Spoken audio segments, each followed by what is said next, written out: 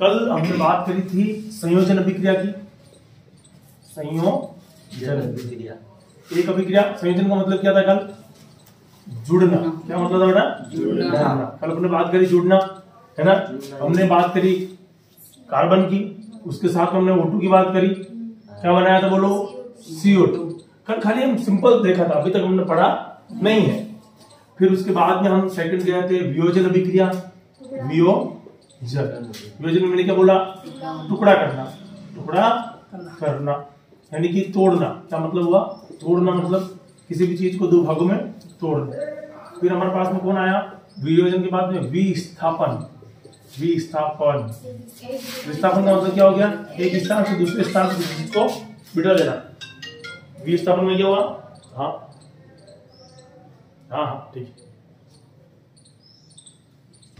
विस्थापन मतलब क्या हो गया? एक स्थान से दूसरे स्थान पर ले जाना। एक स्थान से दूसरे स्थान पर देखिए, फिर आता है द्विविस्थापन द्विविस्थापन द्विविस्थापन में क्या हो गया? ये इधर जाएगा तो ये इधर आएगा। करेक्ट है? कल हमने यहाँ तक समझ लिया था। फिर हमने कल बात करी थी अपघटन की। मैं कहूँगा कि अपचयन और उपचयन की। अपचयन और उपचयन ठीक है ओटू का जुड़ना और ओटू का निकलना। एक बार मोटी मोटा अपन ये बात करें। कल एक बात वो छूट गई थी वो थी हमारे पास में उष्मा उष्मा शेपी उष्मा शेपी का मतलब होता है जिसमें से ऊर्जा निकले। है ना? है ना? तुम चाय की ट्रे लेके जाते हो। चाय की ट्रे लेके जाते हो और उसमें से गर्मी निकल रही होती है। और तुम्हारा बढ़िया मित्र आया हुआ तुम उसको क्या कहोगे? ले चाय पी। ले पी उष्मा शेपी याद रहेगा? उष्मा शेपी ले पी उष्मा शेपी एक होते हैं उष्मा शोषी है ना? उष्मा शोषी कोई तुम्हारा पैसा नहीं दे रहा तुम क्या कहते हो इसने शोषण कर दिया क्या कहते हो? शोषण कर लिया। उष्मा शोषी शोषण का शोषी जब कोई उष्मा ले ग्रहण करता हो उसे क्या बोलेंगे? शोषी देता हो। उष्मा शेपी ये कल की बातें थी जो हमने ब्रीफ में थोड़ी सी समझने की कोशिश करी। अब आज की बात।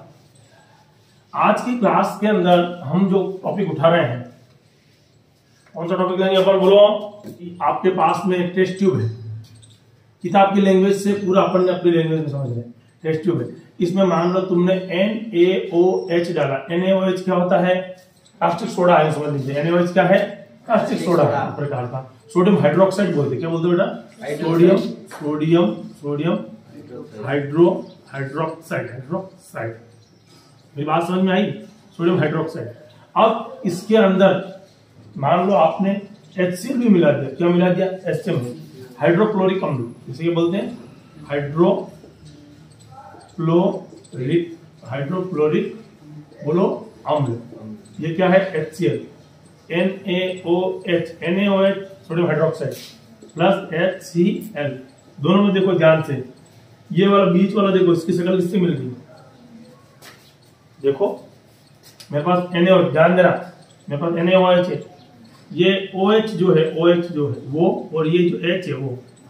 इन दोनों की शक्ल आपस में पानी से मिल रही मिल रही अगर ये रिएक्शन बनता है तो H2O लिख सकता हूँ। H H H2 O अकेला।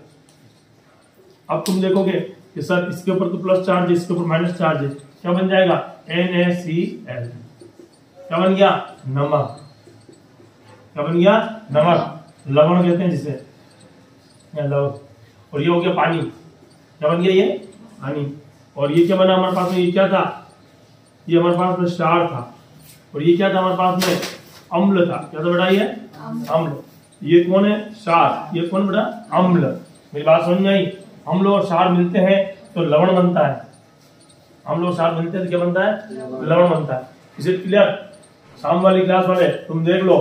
NaOH NaOH क्या है? सोडियम हाइड्रोक्साइड है। HCl HCl क्या है? हाइड्रोक्लोरिक अम्ल है। NaOH और HCl दोनों की रिएक्शन कराने में क्या मिला अपने को? लवण मिला है। लवण क्या है? नमक है। लवण क्या है? नमक। है। डन ठीक है? अब मुझे बताओ जो नया नमक तुमने बनाया नमक तुमने बनाया टेस्ट ट्यूब में नमक बन गया सा। क्या बन गया? नमक। NaCl बन गया। क्या नमक बाहर से आया? नमक क्या बाहर से आया? पहले टेस्ट ट्यूब में था क्या? था। नहीं था। नमक दिखा था तुमको तुमने क्या मिलाया? नहीं मिलाया तुमने क्या मिलाया? अच्छे मिलाया। अरे भाई जब दो चीज़ें आपस में मिल जाए और कोई नया प्रोडक्ट बना रहे लेकिन बाहर से कोई चीज़ अंदर ऐड नहीं हो। समझ में बात? ऐसा नहीं है कि हमने बाहर से कुछ और उससे डाला। हमने दो चीज़ें डाली थी। एनएच डाला था और एच डाला था। इसके अलावा हमने कुछ भी नहीं डाला। लेकिन प्रोडक्ट क्या बना? नमक बना। प्रोडक्ट क्या बना? पानी बना। है ना? तो इससे हम बोलते हैं रासायनिक अभिक्रिया ये आपकी किताब की लैंग्वेज थी जिसको मैंने थोड़ा सा सिंपल करने की कोशिश करी। तो एक बार ये डायग्राम अपने को बना लो जैसे लिख देना अगले ऊपर रासायनिक अभिक्रिया क्या डालोगे? रासायनिक रासायनिक अभिक्रियाएँ। हेडिंग डालो, रासायनिक अभिक्रियाएँ।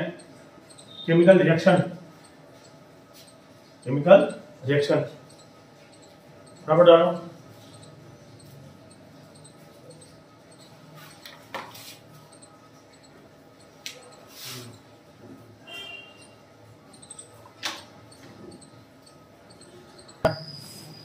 चलिए तो रासायनिक अभिक्रिया क्या है? ये बात तो समझ में आ गई अपने को कि जब कोई दो कंपाउंड मिलते हैं तो नया कंपाउंड जो बनता है दो उत्पाद अभिकारक हम मिलाते हैं क्या मिलाते हैं? अभिकारक। अभिकारक। तो एक नया प्रोडक्ट मिलता है उसे हम कहते हैं उत्पाद। मैडम वाली क्लास में यही हुआ था इंग्लिश मीडियम और हिंदी मीडियम में। उन्होंने प्रोडक्ट यूज़ किया था और आपको नशा आ गया था। ये प्रोडक्ट क्या होता है? तो जब दो अभिकारक आप मिलाते हैं, क्या मिलेगा? उत्पाद डन अब हम अपने किताब की लैंग्वेज में जो लिखा हुआ है उसे लिख लेते हैं ताकि समझ में आ जाए। लिखिए। रासायनिक। रासायनिक अभिक्रिया के समय। रासायनिक। रासायनिक अभिक्रिया के समय। अभिक्रिया। के समय। कोई भी तत्व, कोई भी तत्व के परमाणु, कोई भी तत्व के परमाणु, तत्व के परमाणु। दूसरे तत्व के परमाणु में नहीं बदलते।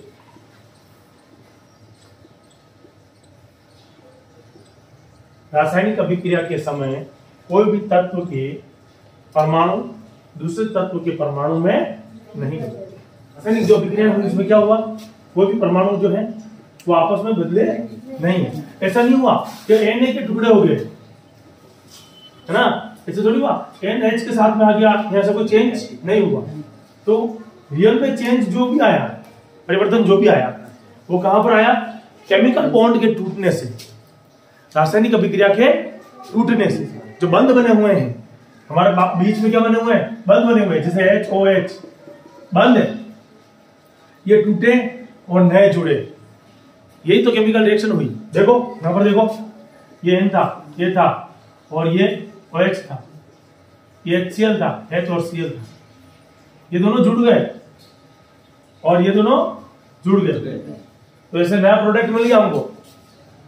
मिला ना? तो हमने क्या लिखा? रासायनिक अभिक्रिया के समय कोई भी तत्व या दूसरे तत्व के परमाणु में नहीं बदलता। लीजिए ना ही कोई नहीं लाइन से ना इसी में नीचे ना ही ना ही कोई तत्व मिश्रण मिश्रण कौन बोलो? ये दोनों मिलकर क्या कहते हैं इसको? मिश्रण, है ना? जो अपन ने दोनों रो मटेरियल डाले, अभिकारक डाले थे, जो अपन ने अभिकारक डाले थे, वो अभिकारक मिलने के बाद क्या बने? हेलो? ये कह सकते हैं अपन कि टेस्ट ट्यूब से कोई बाहर नहीं गया, और टेस्ट ट्यूब के अंदर नहीं आया। जो भी रिएक्शन हुई इन दोनों के बीच में। ऐसी बहुत सारी रिएक्शन है। ये सूरज जो प्रकाश की किरण आ रही वो रिएक्शन है। सब्ज़ी बना रहे हो वो रिएक्शन है। है ना? मम्मी ने जो आटा लगाया वो रिएक्शन है। पानी डालते पहले रिएक्शन चालू हुई। अरे जो आटा एक महीने से पड़ा हुआ था खराब नहीं हुआ। पानी डालने के बाद शाम को खराब हो जाता है। होता है? केमिकल रिएक्शन होगी। आटे को गोदते गोदते गर्मी महसूस होने लगती है। होती है? नहीं होती लड़की? होती है ना? होती है। कौन सी अभिक्रिया हुई? रासायनिक अभिक्रिया, कौन सी रासायनिक अभिक्रिया हुई जिसमें गर्मी निकलती है? अभी सिखाया मैंने। क्या पी? ले पी। कौन सी विक्रिया उष्मा शेपीय विक्रिया तो जिसमें गर्मी निकले वो कौन सी विक्रिया है? उष्मा शेपीय विक्रिया कोई दिक्कत ना? तो न तो कोई अभिकारक। देखिए, जब अभिक्रिया हुई, उस समय आपस में टूटे नहीं।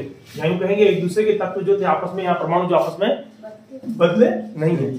परमाणु नहीं बदले न ही कोई तत्व मिश्रण से बाहर गया, मिश्रण से बाहर बाहर निकलता है निकलता है, न ही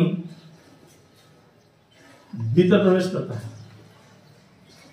भीतर प्रवेश देखिए मेरी बात को समझिए। न तो मिश्रण से कोई चीज़ बाहर निकली है और न ही मिश्रण में कोई चीज़ आई है। समझ रहे हो? न ही मिश्रण से कोई चीज़ बाहर निकली है, न ही मिश्रण में कोई चीज़ आई है। लेकिन जो मिश्रण के अंदर था, जो मिश्रण में बना हुआ था, उसी से क्या बना? उसी से क्या बना? उसी से क्या बना? उसी से नया प्रोडक्ट बना। यानी कि नया प्रोडक्ट जो भी बन रहा है, वो किससे बन रहा है? है तो अभिकारक होके वही उनके बंदों के टूटने से निर्माण हुआ ठीक है? प्रवेश करता है। अब लिखिए विक्रिया के समय कोई भी तत्व परमाणु को दूसरे परमाणु से नहीं बदलता है और न ही कोई तत्व मिश्रण से बाहर निकलता है, नहीं, उसमें प्रवेश करता है। केवल, आगे लिखिए, केवल केवल केवल रासायनिक बंध टूटने से नए हाँ रासायनिक बंध टूटने से, रासायनिक बंध टूटने से व व, नए बंध बनने से है ना?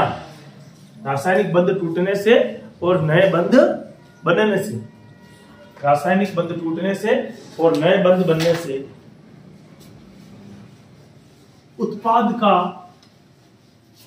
उत्पाद का निर्माण होता है। उत्पाद का निर्माण होता है। इसका निर्माण होता है उत्पाद का निर्माण। डन तत्व की बात कर ली, परमाणु के ऊपर बात कर ली। तो सीधी सी बात है कि आप जब भी तत्व की बात करेंगे तो तत्व के अंदर कौन होते बोलो परमाणु। और जब भी परमाणु होंगे तो सीधी सी बात है कि एक परमाणु परमाणु सुरक्षित रहेंगे दूसरे तत्व के अंदर जाकर मिक्स नहीं होंगे। और दूसरी बात कोई बाहर से जो भी मिश्रण बनेगा मैंने आपको बताया मिश्रण क्या होता है? एक होता है विलियन या विलयन। एक होता है विलायक विलायक। एक होता है विलय। क्या होता है? विलय। आपने सबकी बात करी है?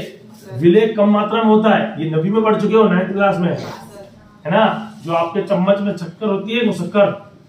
ये जो शक्कर है ये कौन है? विलय विलायक। विलायक वो चीज़ है जो आपका जग है। जिसमें आप सिकंजी बना रहे हो। जो पानी भरा हुआ है विलायक वो लायक होता है। जो लायक होता है वो अपने को पास में बिठाता है। इसी तरह ये भी लायक है। विलायक और इन दोनों को मिला दो क्या कहता है? विलियन। है ना? तो इसको विलियन को अपन क्या कह सकते हैं? मिश्रण भी कह सकते हैं। क्या सकते हैं अपन? मिश्रण भी कह सकते हैं। बात समझ में आई? नहीं आई? आ गई चलिए। बोला करो आ जाए तो है ना?